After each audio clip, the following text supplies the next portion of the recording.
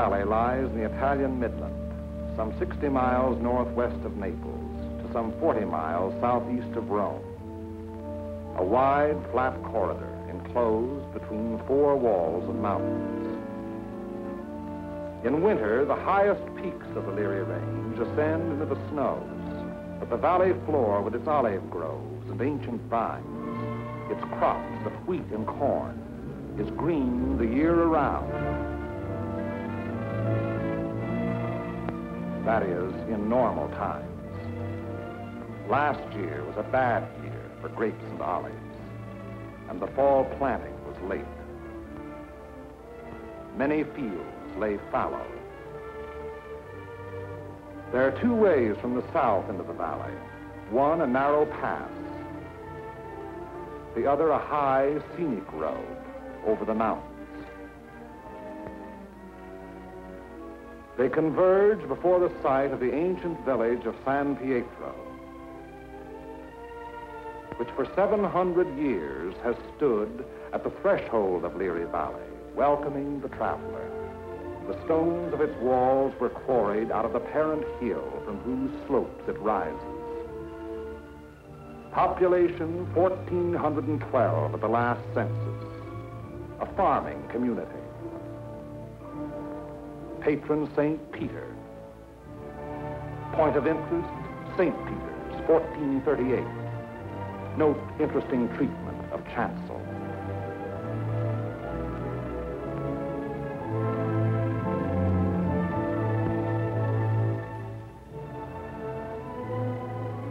As St. Peter's was erected by those who were to worship there, so each original dwelling was built by the ones who were to live there. And this practice has endured down through the centuries. The Italian peasant is a born mason. He cuts and lays and mortars in the stone with great skill and patience, building not for himself alone, but for future generations.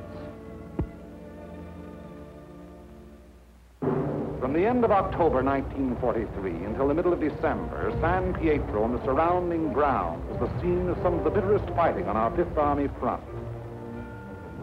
The Italian campaign had entered its second phase, the push forward again after a static period brought on by heavy seasonal rains. Our battle lines were haphazard as the terrain itself, with its flood-swollen rivers that twisted back and forth across our line of march so that each river seemed like five, and where there was no river to cross, a mountain blocked our going. Each peak ahead being a few meters higher than the last we had won, so that each new peak had to be fought for the hard uphill way, with the enemy looking down our throats.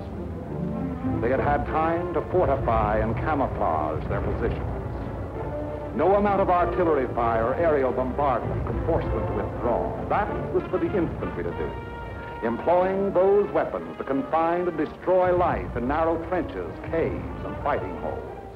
It was up to the man with the rifle, the man under fire from all weapons, the man whose way all our weapons, land, air, and sea, serve only to prepare. It was up to the foot soldier to attack a hidden enemy over ground that was sown with mines, the anti-personnel S-mines that fly up at a football to explode beneath the groin. Nowhere along the entire front were enemy preparations more elaborate than in the San Pietro area. For San Pietro stands at the threshold of Liri Valley, and through Liri Valley, wide and level, runs the most highly prized length of road south of Rome. By early December, we had taken and were holding high ground to the northeast, east, and south of San Pietro, the Camino Maggiore hill mass being last to fall. Italian troops under Allied command had made a vain attempt to capture Mount Lungo, possession of which would have acted greatly to our benefit in the impending action. But so excessive were the losses on Mount Lungo that further operations against its strategic heights were deemed unwarranted.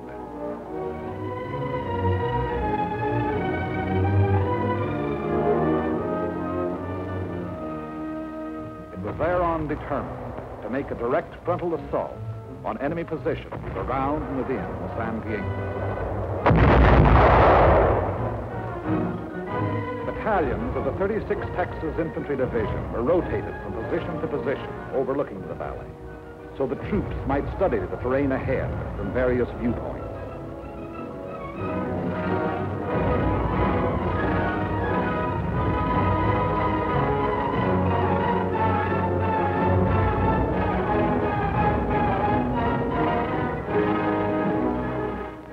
Patrol activity was continuous.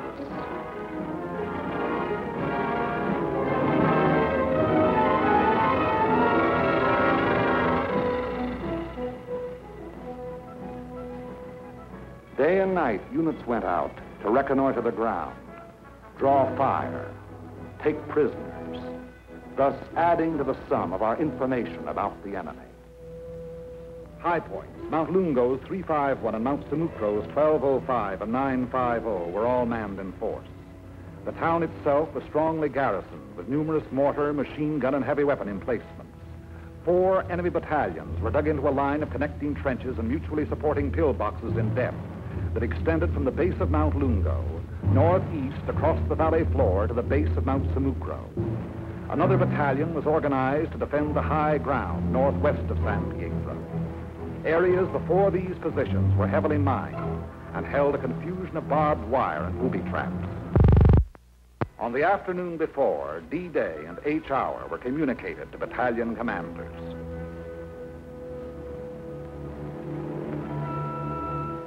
December 8th, at 0620 hours, the 1st Battalion of the 143rd Infantry Regiment to attack the summit of 1205, having moved up the mountain under cover of darkness, and upon achieving its objective to attack along the ridge to a point northwest of San Pietro.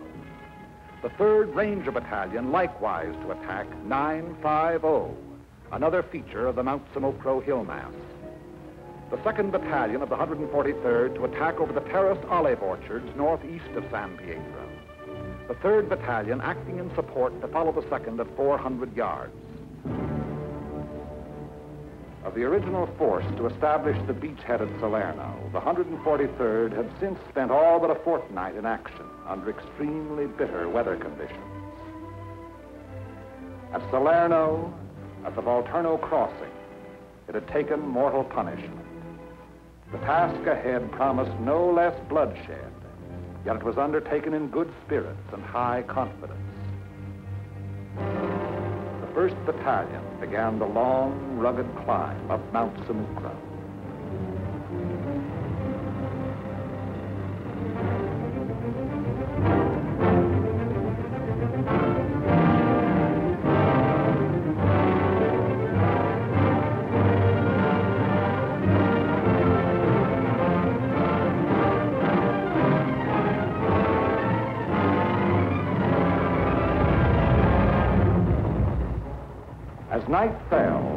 Artillery opened up, and throughout the night hours, intense fire was laid down on the enemy's main line of resistance.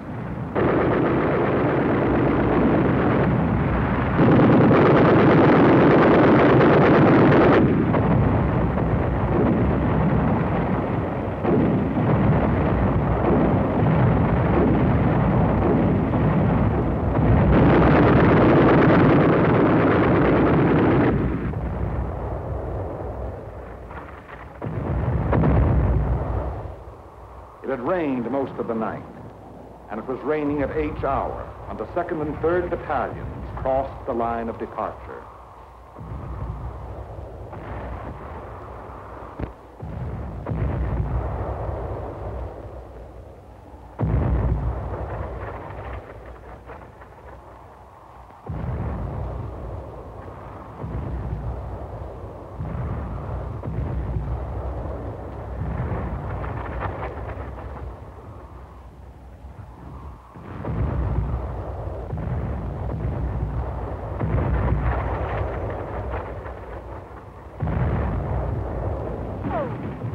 Some 200 yards forward, they encountered wire, mines, and automatic fire from pillboxes.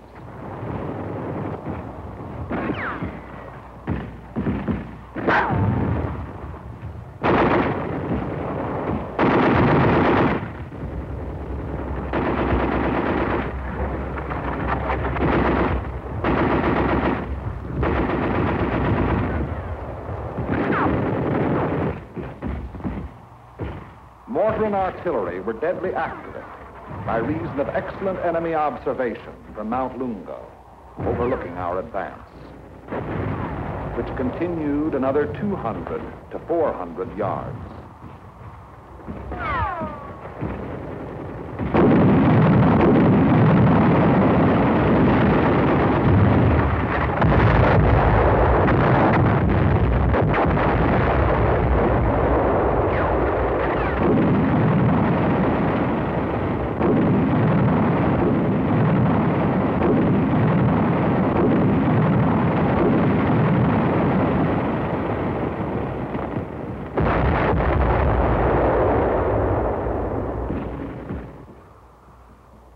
Many men gave their lives in attempts to jump the wire, reach pillboxes, and throw hand grenades through the narrow gun openings. The 3rd Battalion was committed.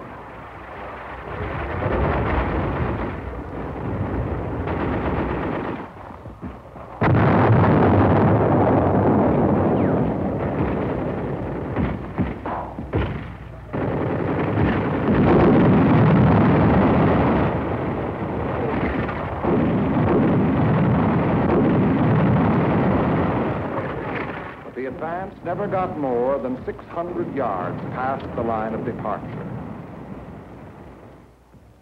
Our initial assault on San Pietro had been repulsed with heavy casualties.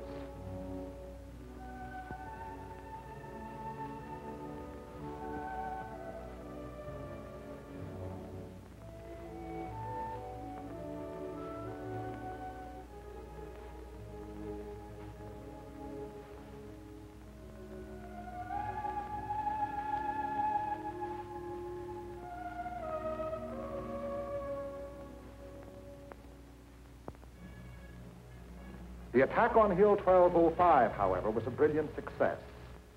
Leading elements of the 1st Battalion had gained the summit of the objective before a strongly entrenched enemy knew that an assault was in progress.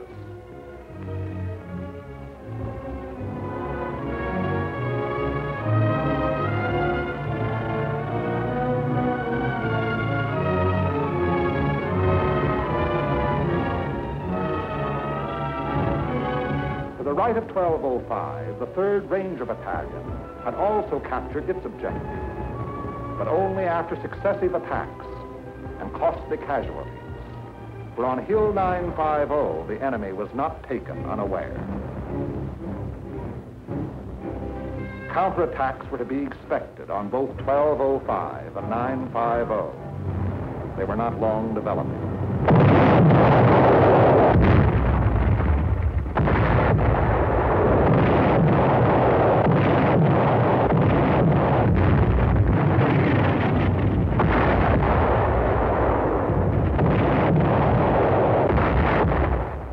The first was launched during the early daylight hours, and even as it was beaten off, another took form.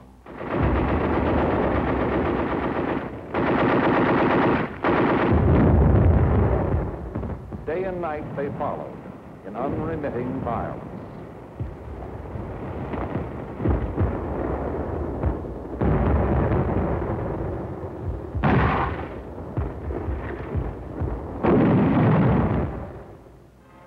The enemy dead mounted with each new attempt.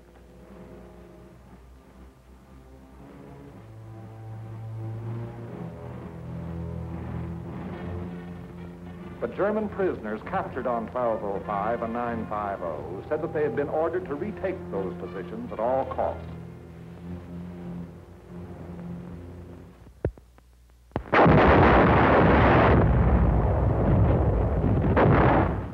Excellent cooperation, the artillery's supporting power disrupted numerous enemy counterattacks while they were in the process of being formed.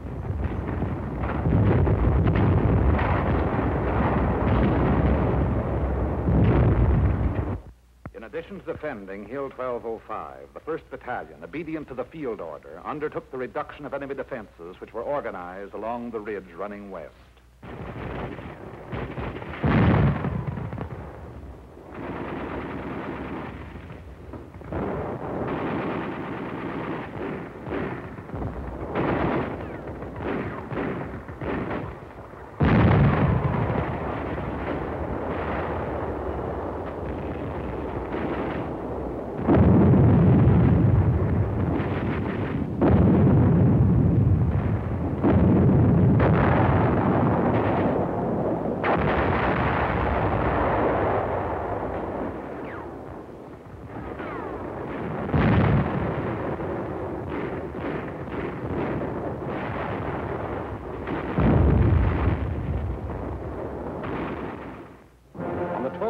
December, the 1st Battalion was reinforced for the 504th Parachute Battalion, which took over and maintained the defenses of 1205 and 950, thereby enabling the 1st Battalion to throw its entire remaining strength into the assault along the ridge.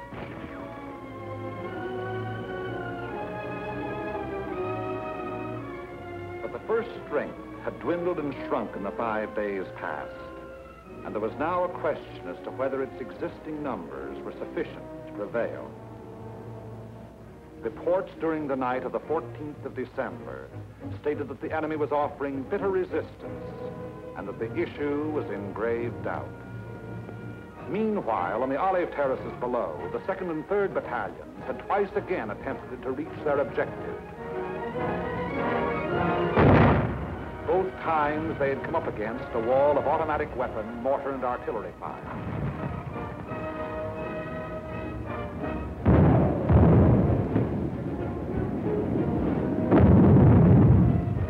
Volunteer patrols made desperate attempts to reach enemy positions and reduce strong points.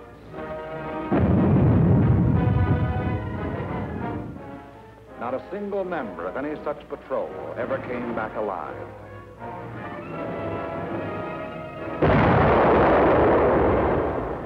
Attacking forces were furnished excellent aerial cover by Allied fighter patrols. But now and then, enemy planes were able to slip through and to bomb and strafe our position. Which to all purposes had remained unchanged since the first day. To break the deadlock, orders were given for a coordinated divisional attack. The 2nd and 3rd Battalions of the 143rd to proceed in the execution of the original orders acting in conjunction, Company A of the 753rd Tank Battalion to attack San Pietro from the east over the high road.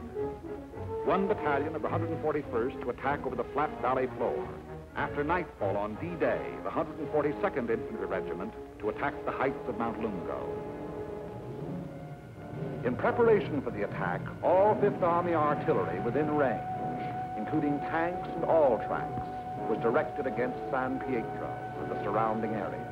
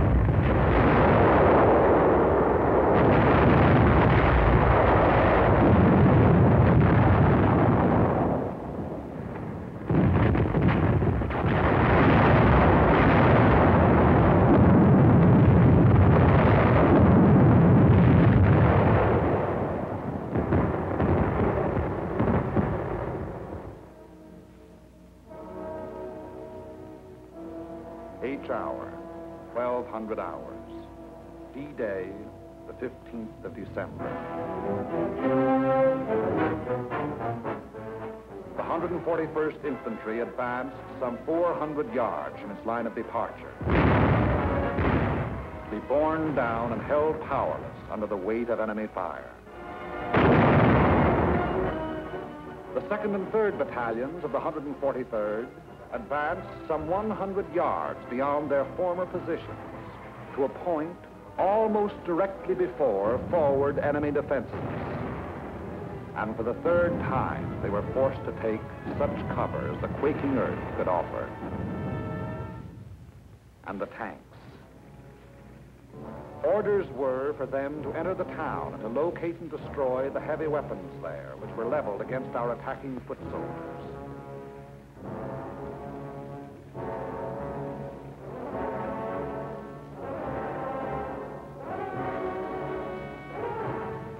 High road into San Pietro was a narrow mountain road. And from the beginning of its winding descent into Liri Valley, it was under direct enemy observation.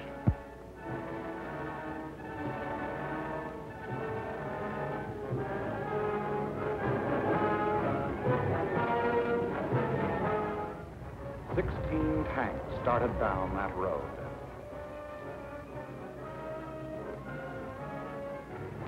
Three reached the outskirts of the town.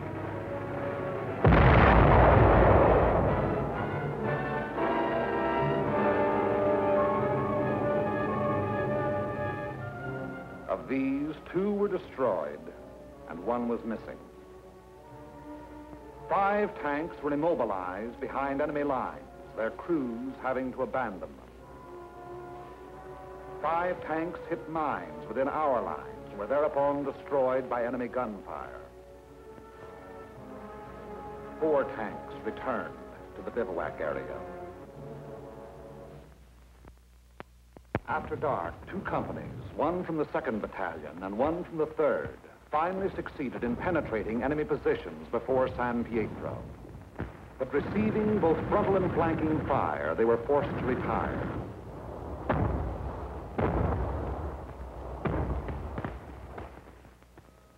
Company E having been reduced in strength to eight riflemen, and Company L faring little better.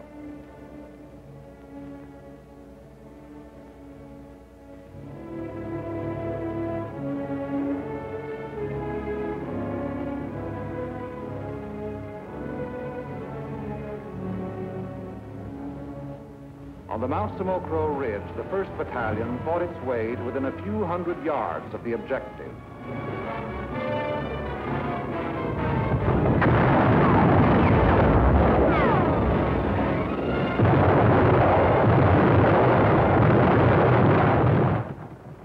But it had paid for ground gained at the rate of a man a yard, and it did not have strength to carry the fight any further forward. On Mount Lungo, however, despite bitter resistance, battalions of the 142nd in successive waves kept pushing upwards.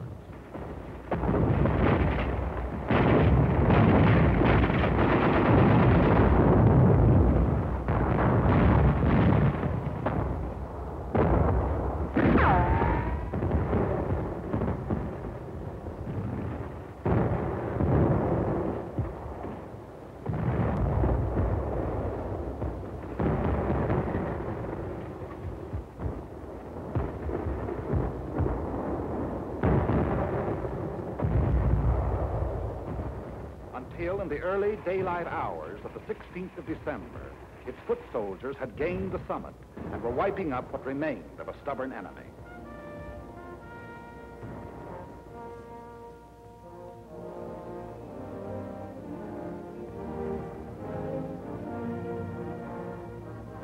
And that height proved to be a key position in the enemy plan of defense. For even as Mount Lungo fell, the enemy throughout the San Pietro area made preparations to withdraw. Almost invariably, the enemy will counterattack to cover a withdrawal. The first violent thrust was delivered within a few hours.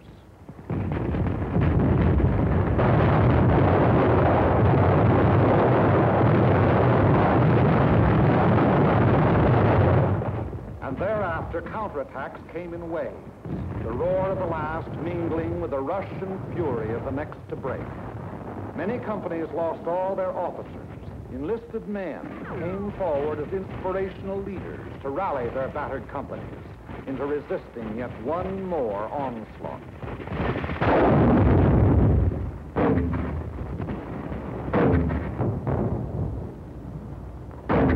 Our own artillery was brought to fall within a hundred yards of our front line elements.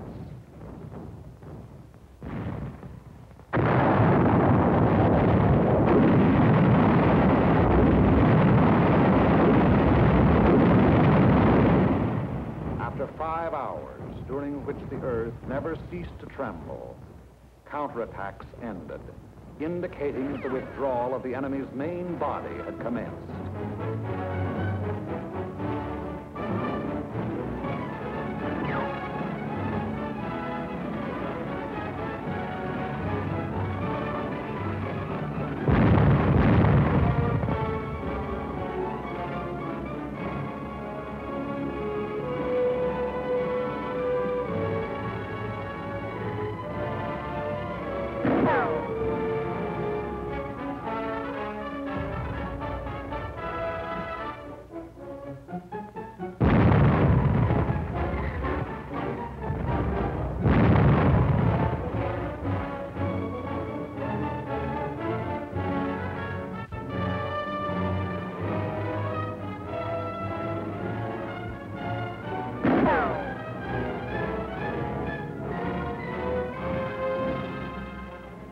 Effort to maintain contact, our patrols immediately pushed ahead.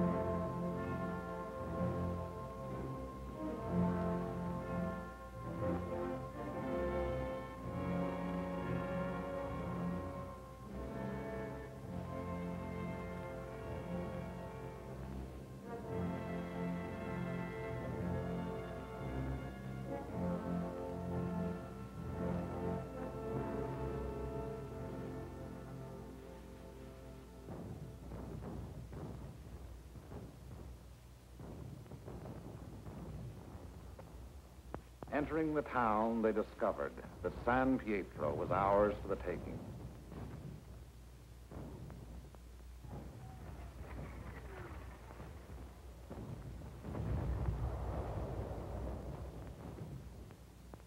The second and third battalions, less than a rifle company in strength, weary to death who were alive, stumbled forward past San Pietro to consolidate gains and reestablish contact with the enemy, now taking up new positions some five kilometers beyond.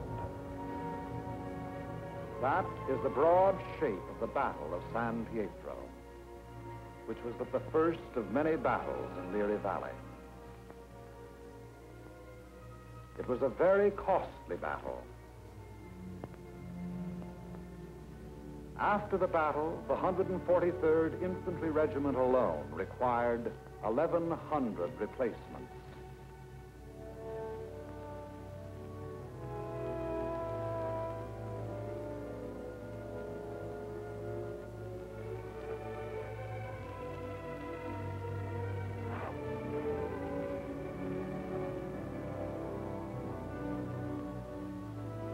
The lives lost were precious lives to their country, to their loved ones, and to the men themselves. For the living of the 143rd Infantry Regiment, more than 100 decorations for acts of valor above and beyond the call of duty. Many among these you see alive here have since joined the ranks of their brothers in arms who fell at San Pietro. For ahead lay San Vittore and the Rapido River and Cassino, And beyond Cassino, more rivers and more mountains and more towns, more San Pietros, greater or lesser, a thousand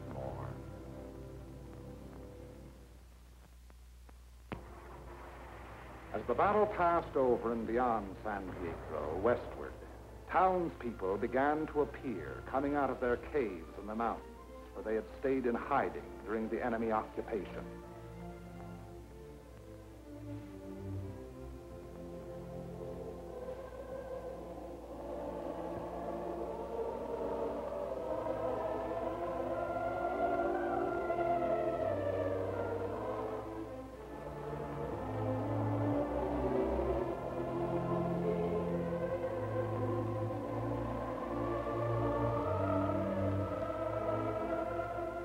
Mostly old people and children.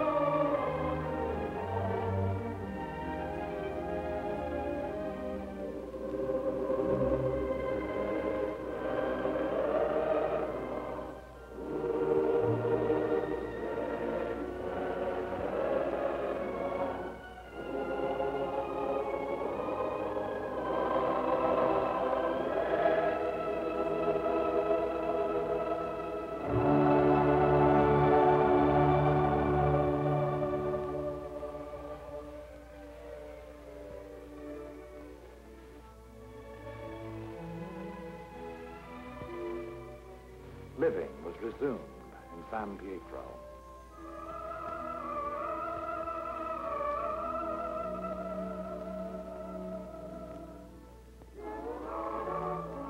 Children are able to forget quickly. Yesterday they wept. Today there are smiles and even laughter. Tomorrow it will be as though the bad things had never happened.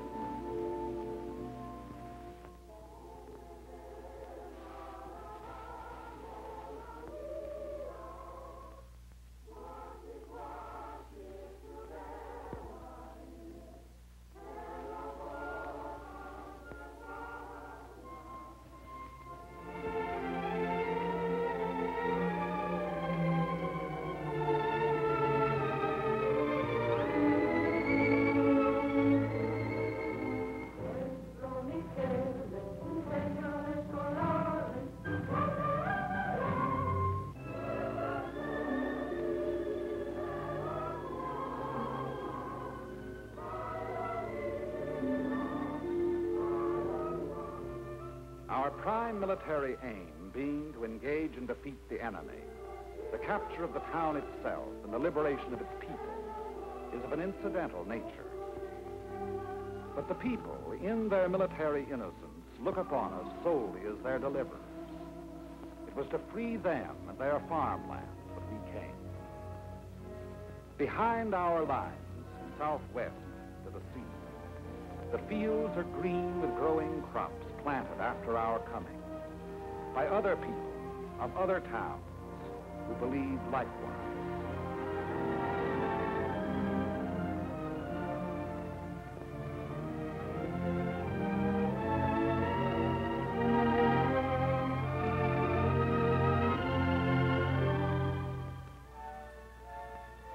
The new won earth at San Pietro was plowed and sown.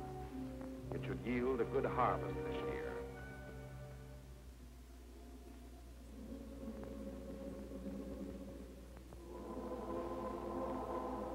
And the people prayed to their patron saint to intercede with God in behalf of those who came delivered and passed on to the north with the passing battle.